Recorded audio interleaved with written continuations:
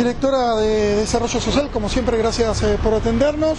Eh, su dirección ahora está trabajando también eh, en conjunto con el proyecto Vale Emprender. ¿En qué instancias está?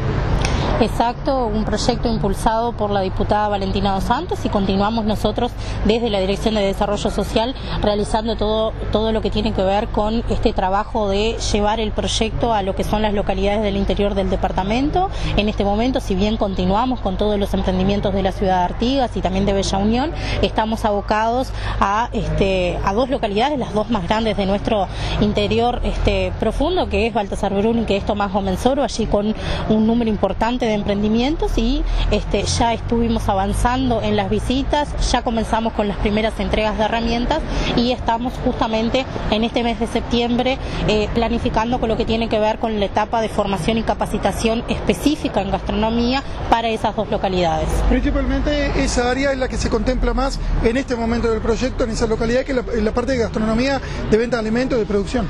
Exacto, en realidad el área de gastronomía es el área que, mayormente abarca este, los emprendimientos emprendimientos, pero también tenemos emprendimientos productivos, emprendimientos textiles y en el caso de las localidades, obviamente por deberse un número un poco más pequeño, ya estamos también realizando las visitas de todos. Los técnicos del equipo continúan realizando las visitas de control, por llamarlo de alguna manera, los emprendimientos en la capital departamental. Así es, el seguimiento es una parte fundamental de este, de este proyecto y es lo que justamente permite que este proyecto logre una, una continuidad y que pueda abarcar, por supuesto, a más emprendedores. ¿Se piensan expandir este proyecto en el tiempo?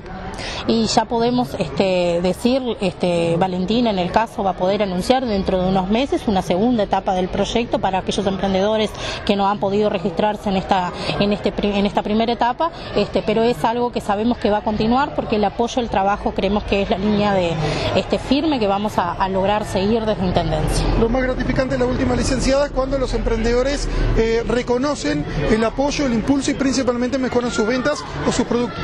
Sin dudas, de las diferentes formas que viene interviniendo Vale Emprender, no solo con el apoyo de herramientas, sino con un montón de aspectos del seguimiento, es justamente lo gratificante de poder recibir esa devolución de los emprendedores. Muchas gracias. A ustedes.